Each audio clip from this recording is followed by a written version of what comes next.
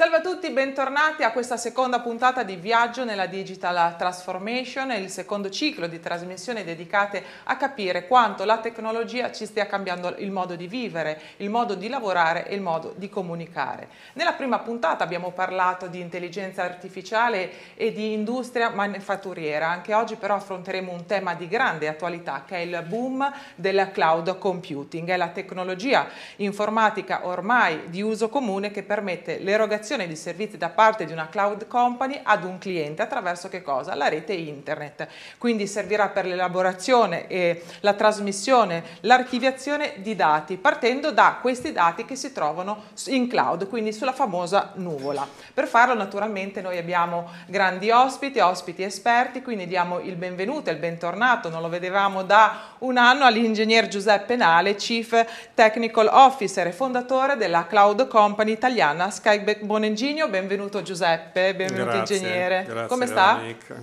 Siamo in gran forma. Bene, sono molto contenta. Con l'ingegnere Giuseppe Nali, in studio con noi anche l'ingegnere Enrico Ronchetti, direttore ricerca e sviluppo di Skyback Bonengino. Benvenuto ingegnere Ronchetti. Grazie Veronique, spero che questa trasmissione possa essere utile agli ospiti che sono a casa. Lo, lo, speriamo davvero, il nostro obiettivo è proprio quello, cercare di capire meglio tutto quanto si sta trasformando con la tecnologia attorno a noi. Abbiamo anche ospiti collegati, da Milano c'è Dionigi Facenda, Italy Partner Program Manager di OVH Cloud e membro della French Tech. Ciao Dionigi, benvenuto. Grazie Veronique. Ciao a tutti, è sempre un piacere stare con voi ed essere seduto a questo tavolo molto importante. Ci colleghiamo invece con Parma dove c'è per noi Ivano Villani, consulente di direzione sulle strategie IT. Benvenuto Ivano. Grazie Veronique, è un piacere per me tornare nella tua trasmissione. Saluto gli amici in studio e il pubblico da casa. Entriamo nel vivo della trasmissione, ingegnernale il cloud vola e non solo perché si trova su una nuvola, ma perché secondo la ricerca dell'Eurostat, che è l'Istat dell'Unione Europea, le imprese italiane sono all'avanguardia in Europa nell'uso di servizi di cloud computing, immediatamente alle spalle dei paesi nordici, ma in vantaggio sulle dirette concorrenti di Germania, Francia e Spagna. Risulta infatti che nel 2021 ben il 60% delle imprese italiane abbiano acquistato servizi di cloud computing e che le aziende che lo hanno fatto hanno volato e davvero, eh, hanno davvero ripreso a correre e ad assumere. Si aspettava 11 anni fa, quando lei ha fondato Skyback Boningino, un boom del genere? Sì, Veronica. Ci aspettavamo eh, un ritorno delle aziende verso i data center esterni. Eh, abbiamo scommesso su questo boom. Eh, in un certo modo è un ritorno al passato. Negli anni 70 le aziende utilizzavano già l'informatica attraverso dei servizi esterni, i data center erano fuori dalle aziende. Poi negli anni 80 è cambiata questa tendenza e hanno cominciato a popolarsi di computer le aziende aziende manifatturiere, quindi avevano tutt'altra missione e facevano entrare l'informatica, ma insieme all'informatica entravano anche i programmatori, i tecnici, i consulenti, eh, tutte le persone necessarie a far funzionare questa centrale del, certo. dell'informazione. Ecco, nella prima decade del, del 2000 eh, ci siamo resi conto che stavano profondamente cambiando le tecnologie di rete, la connettività tra le aziende e i data center esterni era molto migliorata e ehm, le aziende contemporaneamente, gli imprenditori, volevano tornare a concentrarsi su quello che era il loro business vero, quindi costruivano magliette, costruivano bulloni, costruivano imballaggi, ecco, si rifocalizzavano sul loro business e in questo, in questo percorso dovevano demandare la gestione dei sistemi informativi all'esterno, a consulenti esterni. I consulenti esterni lo fanno in maniera molto professionale per molte aziende, eh, fanno gli opportuni investimenti in ricerca e sviluppo, fanno una formazione continua, eh, questo è un trend che, che dura eh, da 11 anni ma non si è affatto esaurito, è destinato a rafforzarsi. Qual è il vantaggio? Perché uno poi dice devo investire, investo sul cloud, il vantaggio immediato che un'azienda può avere. Il vantaggio immediato è sono concentrato sul mio business, mm -hmm. non mi preoccupo okay. più di tutte le problematiche dell'informatica che sono una voce di costo in un'azienda normale. Certo, eh? assolutamente. Non sono una voce di ricavo. Certo, assolutamente. Grazie ingegnere. Tutte le puntate, volevo ricordarvelo, che saranno disponibili sui canali social di Sky Backbone Ingenio, quindi su tutte le piattaforme, Facebook, LinkedIn, sul loro sito ufficiale, sul canale YouTube, non soltanto poi le puntate, ma anche tante altre notizie eh, sempre riguardanti la tecnologia. Ingegner Ronchetti, oggi la priorità sul tavolo, quindi seguiamo un po' il discorso fatto dall'ingegnere, sul tavolo dei Chief Information Officer e dei CEO, degli amministratori delegati delle aziende, è proprio il cloud. Le aziende eh, stanno cercando di caricare sulla nuvola quanti più dati, più processi per poi ottenere maggiore efficienza. Entro due anni si, si crede, si, si pensa che un numero crescente di organizzazioni inizierà a sperimentare soluzioni di cloud verticale verticale. Io le chiedo prima cosa intendiamo, che cos'è il cloud verticale? Per cloud verticale eh, si intendono eh, soluzioni del tipo e-commerce, gestionale, CRM, dove c'è una particolare soluzione che soddisfa un particolare bisogno. E Deloitte stima che il mercato globale sarà di 600 miliardi di dollari entro i prossimi 5 anni. Come, in che modo sosterrete le vostre aziende clienti? Quello è quello che facciamo ogni giorno. Abbiamo eh, molteplici partner applicativi appunto con le loro soluzioni eh, verticali e a loro non interessa eh, dove è questa eh, dove è running diciamo, questa soluzione, se a casa del cliente oppure nel cloud. Quindi questo l'abbiamo superato, questo problema. Eh sì, che Finalmente. era un, bel problema. non era poco, non era di sì, poco sì. conto. A loro, a loro, interessano tre cose. Eh, in primis che sia sicuro e di cloud è security by design. Il secondo punto invece importantissimo sono le performance e con il cloud posso avere tutta la potenza di cui ho bisogno quando ne ho bisogno. Tre, scalabilità, quindi il mio business può partire diciamo in piccolo e poi crescere eh, a seconda delle esigenze e quindi crescere seguendo il business. Ecco, certo. un'altra cosa importantissima è che dopo aver fatto il primo progetto, ehm, con poco diciamo, Dopo aver fatto la prima installazione del primo progetto è possibile replicare, replicare, replicare lo stesso progetto vincente con veramente poco effort e in tempi brevissimi e questa è un'estrema comodità ed è una novità che è, ha introdotto sicuramente il cloud. Certo, c'è un dubbio ancora che permane? Lo chiedo ad entrambi, un dubbio del cliente, una volta era la sicurezza, è superata questa, ce n'è un altro adesso?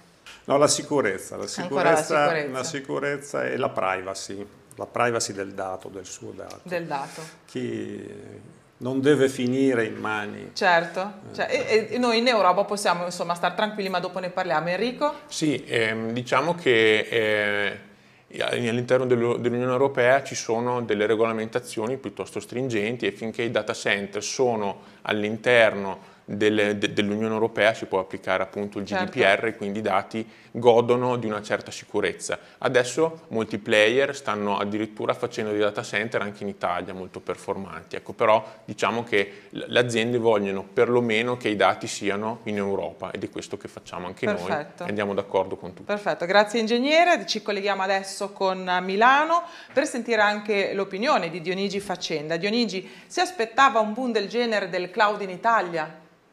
Beh, grazie per la domanda. In, in effetti l'indagine Eurostat del 2021 fotografa in modo preciso quella che è poi la reazione del nostro paese nell'adozione del cloud. Sei aziende italiane di fatto su 10 utilizzano il cloud nel 2021 e l'Italia è in quinta posizione a livello mondiale in fatto di adozione, ben sopra la media europea, che è circa al 42% di adozione non solo me l'aspettavo questa crescita, ma ne ho seguito l'evoluzione fin dal principio, eh, che ha avuto un'accelerazione soprattutto dopo l'avvento della pandemia, ahimè. È interessante comunque notare come più della metà di queste aziende abbia utilizzato il cloud per il software di sicurezza. Eh, di fatto noi comunque eh, rappresentiamo quello che è il mondo del cloud al meglio e e con i nostri partner ci avvaliamo poi delle migliori competenze per poter aiutare queste imprese ad usufruire appunto del cloud nel miglior modo possibile. Dionigi, abbiamo parlato del cloud verticale, cosa pensa delle stime di Deloitte? Allora, sul rapporto del 2022 possiamo solo affermare di essere assolutamente d'accordo con quanto prevede Deloitte, eh, soprattutto per le tecnologie dell'ultima generazione, tra quali non so, blockchain, l'artificial intelligence o il machine learning. Sicuramente sono tra quelle che delineano la crescita anche del nostro ecosistema, non solo tra i nostri clienti e partner, ma anche tra le start-up. Eh, noi chiaramente ci stiamo attrezzando eh, per sostenere questa eh, fortissima evoluzione delle soluzioni cloud e server, anche per poter sostenere le esigenze verticali eh, del mercato che si fanno sempre più molto eh, consistenti e high demanding in merito proprio alle necessità di eh, sostenere una mole di dati molto forte eh, se prendiamo solo per esempio tutto ciò che riguarda il mondo dell'Internet of Things, dove ci sono miliardi e miliardi di oggetti connessi, possiamo solamente immaginare come il cloud in questo caso possa essere fare da padrone e eh, da eh, diciamo collante proprio per unire tutte queste tecnologie. Senza il cloud non potrebbe esistere questo ecosistema. Dionigi, prima di salutarla le vorrei chiedere un'opinione eh, sul futuro dello smart working ma anche del lavoro in presenza nelle grandi città. L'anno scorso ci aveva fatto delle previsioni e ci aveva preso, quindi vogliamo sentire le nuove. Beh, certamente Veronica, diciamo che quella che è stata un, un'esigenza impellente per fronteggiare l'improvvisa emergenza sanitaria e nel contempo di tutelare i dipendenti si è tradotta in pochi mesi di fatto in una grande opportunità ormai siamo entrati nell'epoca del lavoro ibrido, una modalità estremamente flessibile che consente comunque ai dipendenti di migliorare anche la qualità del rapporto vita-lavoro. I risultati e le performance rimangono comunque invariati eh, per le aziende e in alcuni casi sono anche in aumento. Le organizzazioni comunque hanno, hanno introdotto dei ideato dei processi più snelli e automatici per orientarsi poi a un contenimento sui costi e quindi c'è stato un fortissimo impatto sia a livello sociale positivo che a livello anche di sostenibilità. Quindi i dipendenti possono fruire in maniera ibrida lavoro, casa e le aziende poi mettono a loro disposizione tutti quelli che sono i benefits per comunque eh, stare da casa e lavorare al meglio Grazie a Dionigi Faccenda rientriamo in studio per poi ritornare subito a Parma dove ci aspetta Ivano Villani, consulente di direzione sulle strategie IT. Ivano, anche per lei la stessa domanda, un simile boom del cloud se lo aspettava in Italia? Sì, Veronique, me lo aspettavo perché grazie al supporto di bravi team manager e di aziende strutturate, organizzate, che hanno avuto una, una lunga visione come Skyway Bond, la paura di portare fuori i dati personali che vivevano i nostri imprenditori è stata praticamente azzerata, poi a favore di che cosa? Di una sicurezza e anche di una scalabilità maggiore del, delle infrastrutture. Parliamo del mondo IT e Ivano, cosa è cambiato nelle scelte delle aziende dopo la pandemia e con l'avvento dello smart working e come sono andati i volumi? A tal proposito, Veronique, occorre differenziare l'Italia rispetto al resto del mondo, diciamo evoluto. Il nostro è da sempre un approccio step by step, in particolare verso l'information technology, che ci porta sempre ad impiegare più tempo nel realizzare progetti IT. La pandemia ha sicuramente accelerato questo percorso e quindi a favore di una digitalizzazione molto compulsiva, però che spesso non viene affrontata nella modalità corretta il voler arrivare per forza ci impone, diciamo, una poca organizzazione, una poca strategia e quindi corriamo, corriamo nella speranza di riuscire a raggiungere gli obiettivi di business. L'attività che ho deciso di perseguire è proprio quella di accompagnare i nostri imprenditori affinché possano accelerare questa trasformazione digitale attraverso la valorizzazione delle persone, dei processi, sempre ovviamente con l'attenzione al business, ma coadiuvandosi delle tecnologie moderne. I volumi sì, si sono spostati pesantemente a favore della vendita dell'online e della comunicazione digitale. Pertanto le aziende già presenti su cloud, strutturate, organizzate, ne hanno beneficiato fin da subito. tante purtroppo, e soprattutto in Italia, ahimè, eh, sono in piena corsa per recuperare quel terreno che è stato perduto. Ma ancora una volta necessitano di una guida per rendere efficaci le loro azioni intraprese in questo, in questo senso. Ivano, un'ultima domanda su una nuova ricerca americana che è stata compiuta su un campione di 12.000 eh, manager, rivela che un quarto, il 26% dei decisori stia dando priorità agli investimenti aziendali verso una governance ambientale, sociale e aziendale, piuttosto che eh, lo sviluppo di nuovi prodotti e servizi. Lei sta registrando questo cambio di strategia anche qui in Italia, da noi? Eh, no, Veronique, io non sto registrando questi numeri assolutamente. Eh, in Italia credo che siano decisamente più bassi. Eh, probabilmente mh, questo tipo di attenzione ancora eh, nella, nella nostro, nel, diciamo, nel nostro strato imprenditoriale eh, non è ancora una, una, un sentimento forte sta arrivando sicuramente, è una strada che va sicuramente intrapresa. Eh, devo dire che non ho però purtroppo, e dico ancora una volta purtroppo, in Italia rilevato questo sentimento. Grazie a Ivano Villani, ritorniamo in studio e torniamo a parlare di eh, essenza, di materie prima, di dato. Ingegnernale, eh, il cloud computing, eh, la materia prima del cloud computing è il dato, come dire, dico giusto? Sì, come dire, non so, per il fornaio la farina, il muratore il mattone. Okay. L'autore di questo programma, Stefano Bergonzini, nel suo libro Galateo Social, ha eh, evidenziato tre mondi.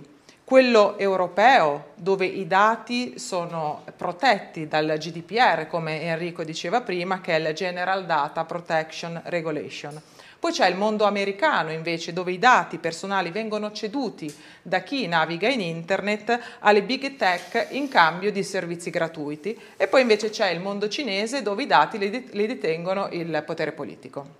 Avete due eh, grandi responsabilità. Da una parte un grande potere, dall'altra una grande responsabilità. Come fate a gestirla? Ecco, va sottolineato che il GDPR europeo è stato un, un precursore, è un punto di riferimento eh, per analoghe iniziative nel mondo. Eh, in questo caso specifico l'Europa ha fatto scuola. Il regolamento ha reso evidente come mh, il trattamento dei dati non si limita solo alla privacy, eh, perché l'utilizzo delle informazioni in questi anni e nel futuro eh, è e sarà un asset strategico. È, è un asset strategico quindi fondamentale per, per le nazioni, eh, hai citato la Cina, vale, vale, in tutte le nazioni del mondo, vale per le società, per le company, per i loro interessi privati, per i partiti, per le singole persone. Certo. Eh, l'informazione, il dato che diventa informazione è un asset strategico. I diritti di tutti gli interessati eh, si fondono in una scacchiera complessa e le istituzioni sono eh, chiamate a declinare delle tematiche che diventano sociali eh, per difendere l'interesse della collettività e non di una parte. Ehm, quindi non si tratta semplicemente di dati, ma di, di bilanciare il, il diritto ai ai, ai diritti fondamentali dell'umanità, fammi dire. Ah, un gioco no? di parole ma è corretto, certo. Non vorrei esagerare. Eh, la domanda infatti che ci dobbiamo fare eh, e che ancora mh, attende forse una risposta è se siamo consapevoli che ognuno di noi eh, si deve impegnare per difendere questi principi, perché il regolamento è un pezzo di carta e diventa una concreta attuazione soltanto se ognuno di noi si impegna. Non vedo sempre questo tipo questo... di atteggiamento, spesso nei confronti mm. di tutti quei eh, meccanismi no, di difesa eh, che costruiscono un, un, impianto anche burocratico.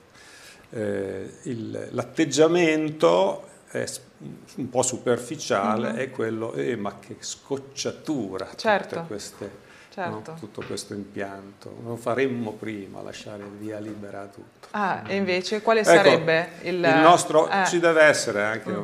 quindi dalla carta farlo diventare attuale. Eh, richiede il nostro sforzo. E Skybackbone Ingegno ci riesce. E noi ci provate. ci proviamo. La volontà c'è, insomma, assolutamente.